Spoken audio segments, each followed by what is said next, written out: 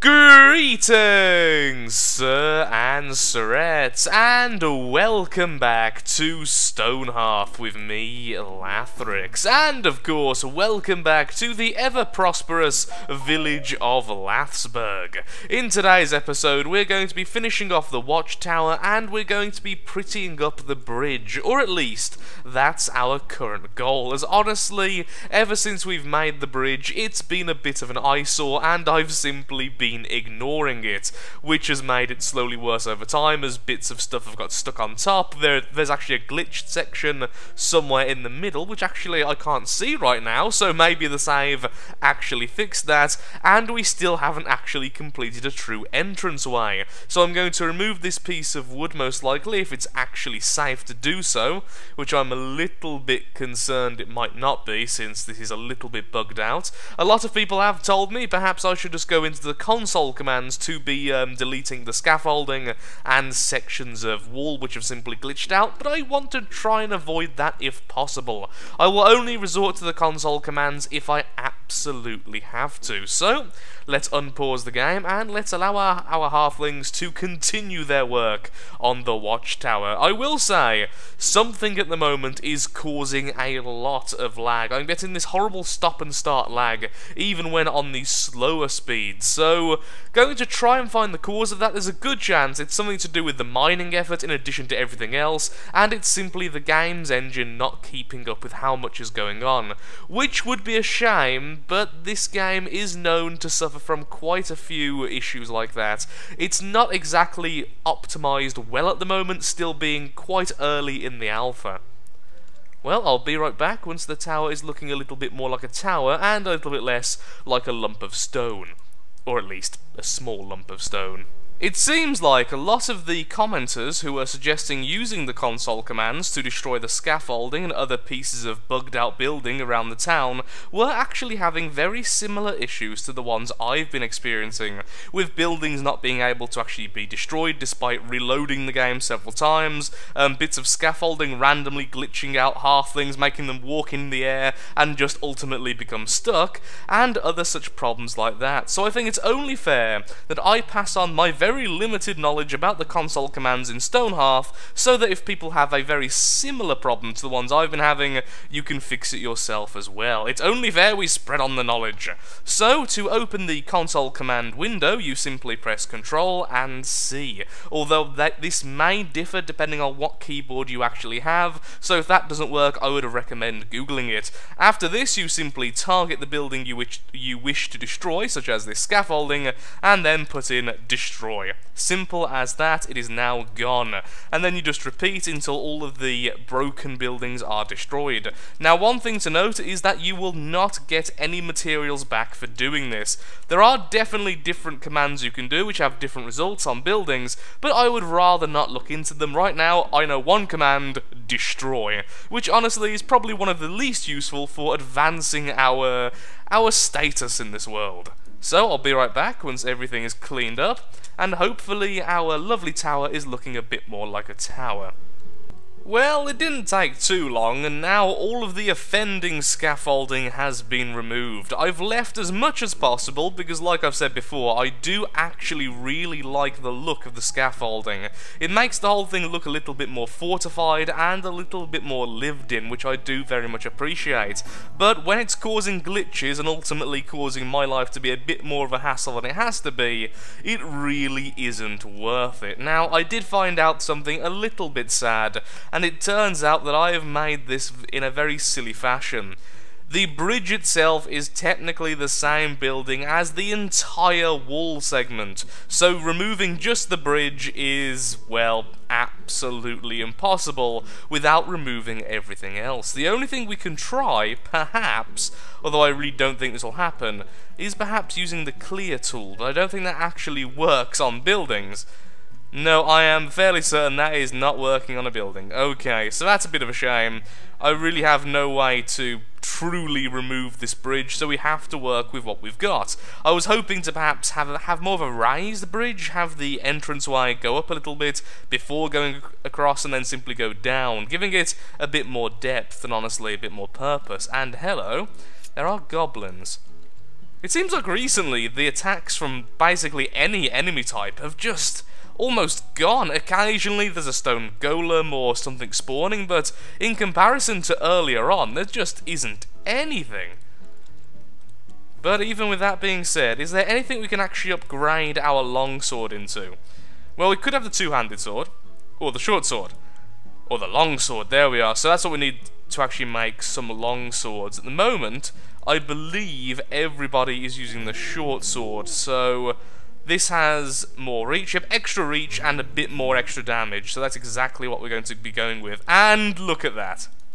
Thankfully, this is why I have two parties now rather than just one party. So this fellow can kill the wolf before it kills half of my citizens. Never underestimate Goblin... Oh, never mind, they're going back anyway. Most laggy walk possible.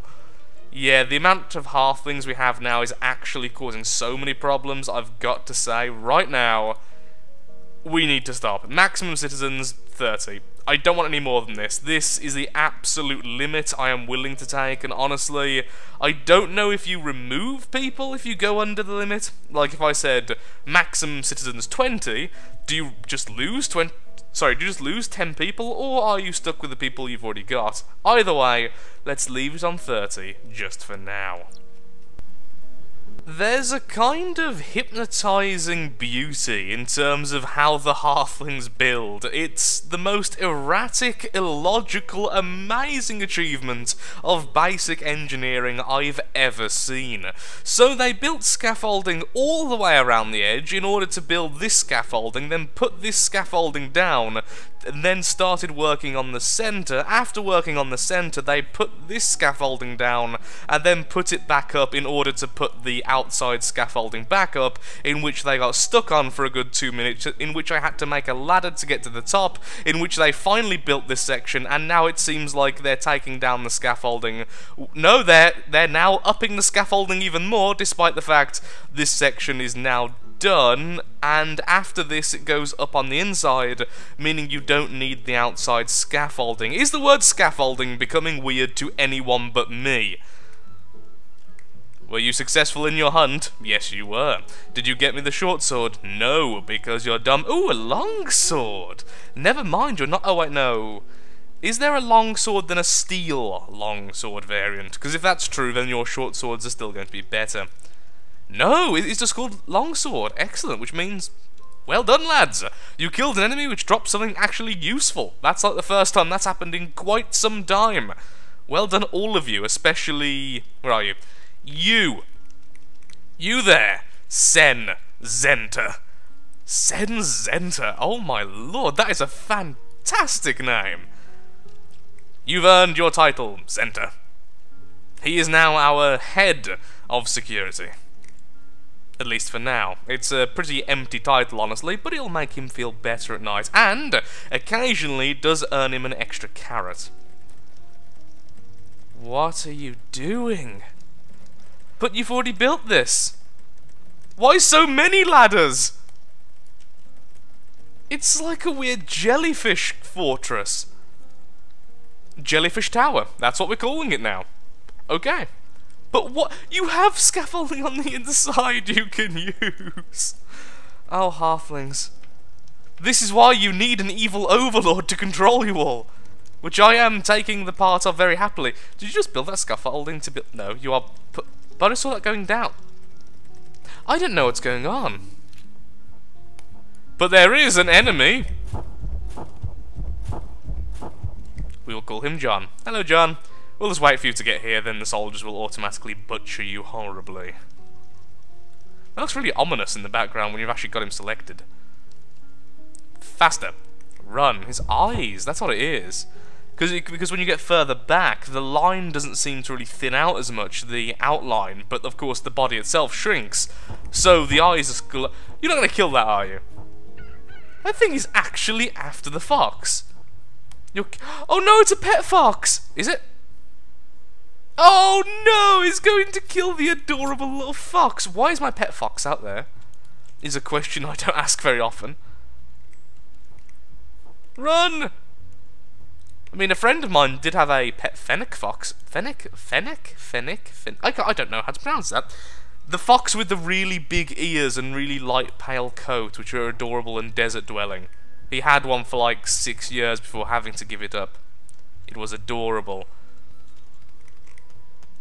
Well, let's just stop the command for a second. Let's try again. And go! And lag! This can only end well. Um, other party, get here because this party doesn't seem to want to help out. Please don't say you're... No, it's okay, it's only Zand Creed. He's not the leader, therefore we do not care about his life. We can always replace him. No, not gonna... Okay. Move here! Stop! Save and reload. Honestly, at this stage, I think it's safe to say we have a new leader of the guard. Mr. Creed here is single-handedly killing the stone golem. Well done, sir. Also, I'm going to stop using times 4 speed now, because the amount of lag it is generating is ungodly. Also, finally! Now you help! You- no! You get none of the credit. No one likes you anymore. Only Mr. Creed here is our leader. We like Creed. Creed is our friend. Where's our old leader? No. No. Right at the back, you coward, Mr. Zenta. I thought you to be brave. To be a soldier to be respected, but sadly not. You just allow your minions, your friends, to do the work for you. I must say, I'm rather disgusted. Also, oh my lord, why are they doing this? This isn't even a difficult project. What are you guys... I don't... I don't understand. Why? Why you do this? I'll be right back after just looking at this in dismay. I'm hoping the lag will go away once the mining operation has slowed down a bit. It could be all the entities we're creating, honestly. Hmm. I could do that. Is I'm going slice mode instead so I can actually see what I'm doing. You remove. Then just loot all of this. I mean, it could be how many we've got down here. It could be the fact all of our halflings are working down here, so it means they're constantly creating more, they, they have to path and everything. And there's a whole host of reasons why this is probably causing problems, whilst we're still building as well. So maybe that'll help, possibly, perhaps, in a special sort of way? Unsurprisingly, all of this amazing scaffolding work has completely drained us of our log stores, so it's time for a new deforestation project. I would perhaps attempt to rebuild this with a door, but honestly at the moment, I think there's enough commands for the halflings, and I am worrying for the game simply crashing. It did earlier. So please, halflings, Oh, Obey me just this once, get those logs, build up this, and make our lovely little island a beautiful one. And for some reason, I was going to call this a tree. After completely encasing the building in scaffolding, at last they've started building the next section of the tower. Why all this scaffolding was necessary, I'm still not 100% sure about. For a while, I thought it was because I didn't have enough windows or doors, or perhaps there was something missing they were waiting for, and they were overcompensating by trying to work on the building without the necessary materials, and so they just kept on doing whatever they could do, which was just make scaffolding. That was definitely not the case. I have over 10 now of these windows just waiting, and I need to have 4 more, I think, for the next layer and one door. Now I'm just waiting for them to pick up the logs. I have told them to do nothing else, I have cancelled all other requests, I am just waiting for one of them to walk over here, get some more logs, and continue the build. They still are remarkably reluctant to do any task which is too far away, and apparently this is too far away. I could cut down one of the trees here, just to kickstart things, but honestly I don't want to do that. I like the fact that Lathingham Island actually has a little bit of greenery still, and I don't want to ruin that just because I'm a little bit impatient and bored waiting for this to be built. Naturally, I was mistaken. We still need scaffolding in order for the halflings to get a little bit higher to actually build up the wall. At least this time it is pretty warranted. The scaffolding is needed so that they can climb up to the top and actually place the blocks required. So that's okay. At least this time it makes sense. Mostly, although they still use way too much of it. And I think once again we have run out of oak logs because they're just not collecting them. No matter how much I stop buildings and start them, they are refusing to collect from this far away, and I have actually had to sacrifice one of our trees. Now, I'm not too sad about that, honestly, because this is a space we can use for other buildings. I'm not quite sure what exactly can go here, but honestly, we did need the space, so it's not too, too bad. Also, adorable chickens. That makes us happy, right? Look! Adorable chickens eating chicken feed. Chicken feed, rather. Alas, I was very much mistaken. At least this time, the scaffolding actually makes sense, as it's needed to place the higher levels of stone. It still means, however, we are once again out of oak logs, or wood logs, whatever they're actually called. They are indeed called oak logs, because they're just refusing to actually pick them up. Apparently cutting down the trees are okay, but picking up the logs afterwards? Insanity. There's also this fellow here. Maybe if we clear you out, we can get to his chest as well. Likely nothing really of interest there, but even so, if we're lucky, there might be something shiny. I like shiny. Oh, I'm sorry. You seemed really peaceful until we took you down to half health. Now I feel like we're perhaps the evil people. There was also a goblin despawned. What did we get? We got silver, and we got a little bit of steel. Nothing really too much of interest there. And cancel. Although it looks like you've already cancelled because you've killed everything. Just in case, I have now pressed the cancel button. Haha!